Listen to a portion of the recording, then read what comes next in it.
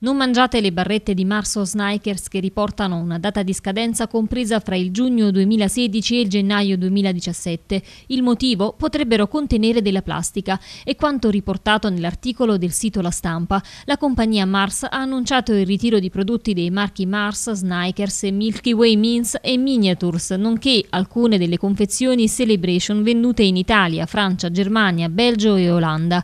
La multinazionale alimentare Mars ha ordinato un maxi ritiro di prodotti dopo che un consumatore ha trovato un pezzetto di plastica in una confezione. I dolciumi ritirati dalla vendita sono quelli con data di scadenza compresa tra il 19 giugno 2016 e l'8 gennaio 2017.